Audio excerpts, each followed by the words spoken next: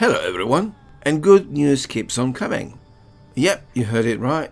SpaceX will likely test Starship in not too distant future. Could happen way before Easter. I know, I know, I said something similar last year before Elon Musk unveiled Starship to the world. Elon Musk has tendency to exaggerate things from time to time. However, this time we don't need to worry about what Elon Musk does. We can see it for ourselves on a daily basis, thanks to a plethora of people such as Boca Chica Maria, Lab Padre, Boca Chica Gal, who continue to update us on what is happening at the SpaceX facility at Boca Chica. Thank you from bottom of my heart. Work on Starship SN1 is nearing completion, at least from the latest tweets by Elon Musk indicating SpaceX will probably test Starship around March 20th weekend perhaps. All depends on permissions from FAA and FCA.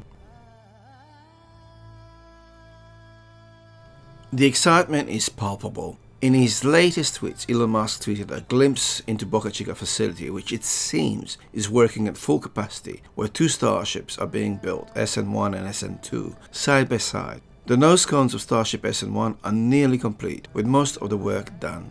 Elon Musk hopes he can test Starships in early March. SpaceX teams have been working around the clock with little over a month to build a first full-scale, flight-worthy Starship prototype. A process that only began after two test tanks were fabricated, assembled and pressurized until they burst on January 10th and January 28th.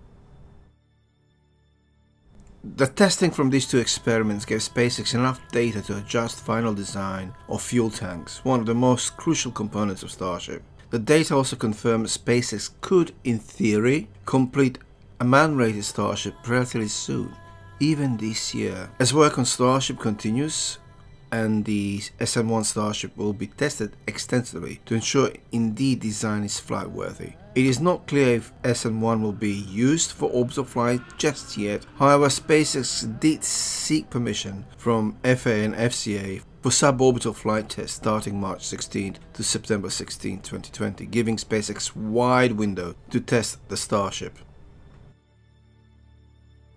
It is quite possible, and this is my guess, SpaceX will perhaps on purpose try to test SN1 to point of destruction to make sure design is truly flight ready and there is little room for mistakes. NASA has really strict rules on vehicles it certifies for manned missions.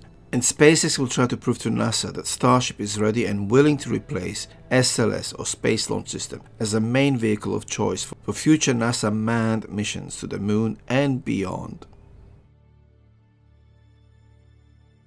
The amazing speed and progress at which SpaceX team will almost completed Starship SN1 is amazing. Work on Starship SN1 started in late January.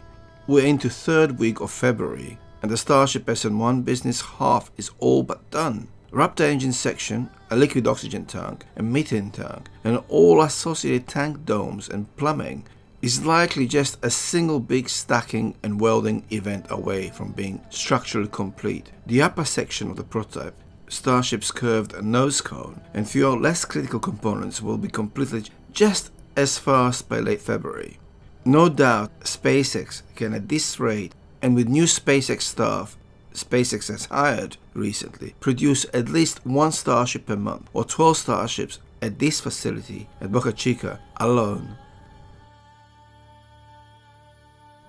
and Boca Chica facility will expand. It will expand to a large manufacturing base by mid-2020. So large, current facility will be dwarfed by what SpaceX plans to build on this location. SpaceX has effectively built a sustainable manufacturing base at Boca Chica and plans to expand it to build at least two Starships per month towards the end of this year. If SpaceX, and I've seen and shared SpaceX plans with you, expands to encompass entire area, SpaceX, without any doubt, be able to churn out starships faster than Boeing churns out B737 MAX. Question now remains, when can we expect first Starship SN1 static test? My educated guess is that SpaceX will install Starship SN1 three Raptor engines in early March and perform a live static fire test within days from full integration of Raptor rocket engines. That being said, SpaceX won't fly Starship before March 16th.